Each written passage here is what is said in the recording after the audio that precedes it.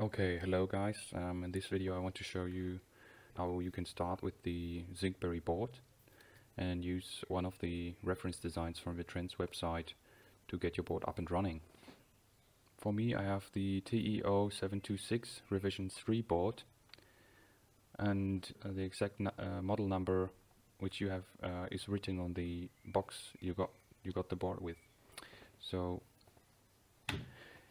yeah, first, first of all what we're going to connect to the board is actually only the USB cable, the micro USB cable, and if you flip that board over, the micro SD card.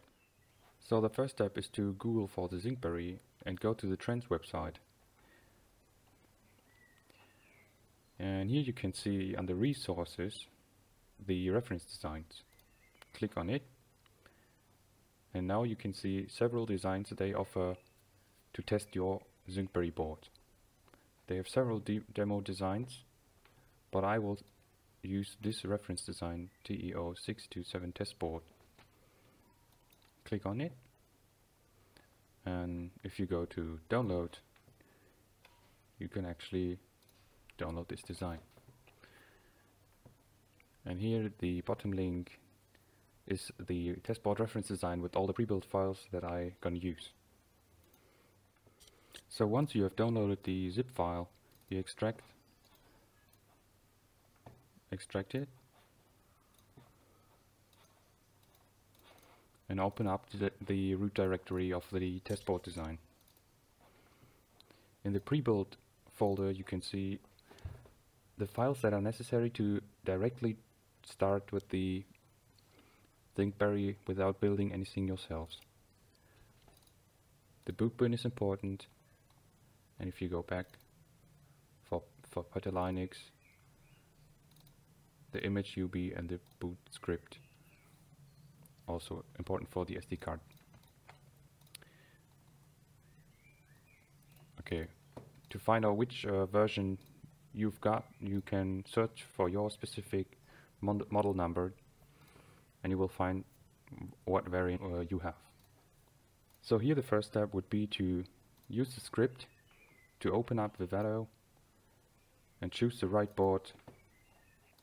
Okay, first mistake, do not extract your project uh, onto the desktop. That's not a good idea actually because the path would be too long of this directory. So we open the script, select 0 to choose our board. For me, I have the TE072603M um, you can find that product ID as I said on the package um, that came with the board. Okay I select 3 enter yes. I want to use this device. I want to create the Vivado project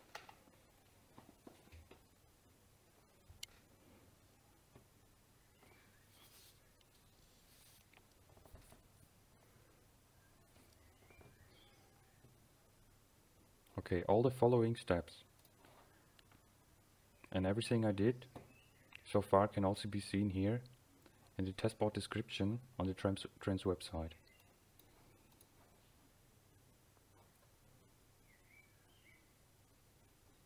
So we scroll down to launch. And we also did these steps.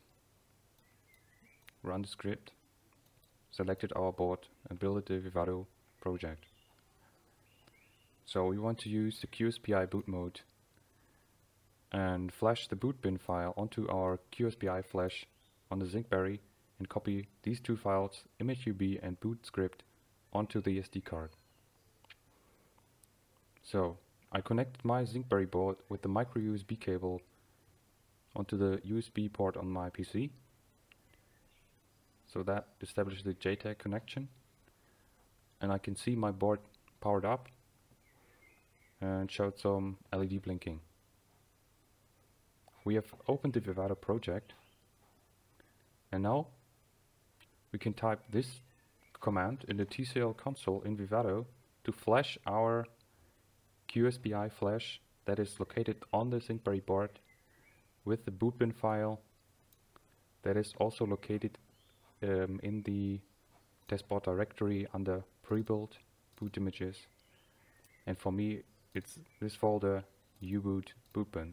This file now gets flashed onto the QSPI flash on my Zynqberry if I enter this command. You can also open up the help, or find more out about it. For now I just use this command. Press enter and the script will do everything for you.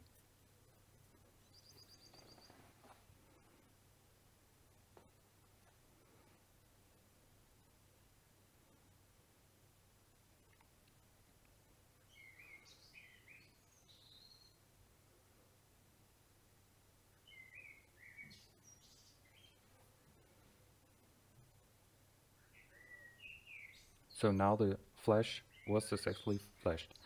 If this step does not work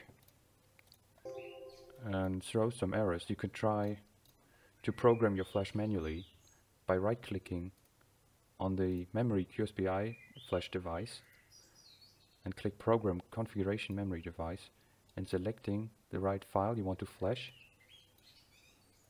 and the right FSBL for the flash process. You could also use uh, try to use a different FSBL if the other one doesn't work properly. It could also be the case that you worked with your device with older Vivado versions and cannot use newer versions like Me 2020 or 2021. Then you gotta go back to your old version uh, that, that you flashed your Zynq with, your flash and delete it with that version and then you can come back to your to the new Vivado version and try to flash the QSPI flash again. Okay, I hope that is not too confusing. Now that we have flashed the QSPI flash, we're going to copy the two two files from the pre-built OS, Petalinux, image UB and boot script onto the SD card that we later put into our Zynqberry in this slot. Okay, I've done that already. I copied both of them onto my SD card and plugged it into my Zynqberry board.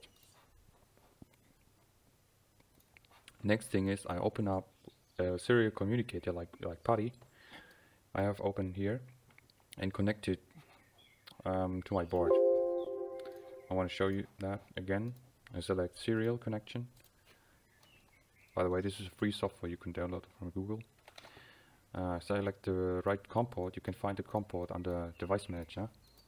You select the right speed, and for Zynq devices uh, on from the, uh, from the transport, it's most often it's this speed, 115200 for Zynq devices. Serial connection, and I click open. Now the serial con uh, communicator is connected to my Zynqberry board and I unplug my board again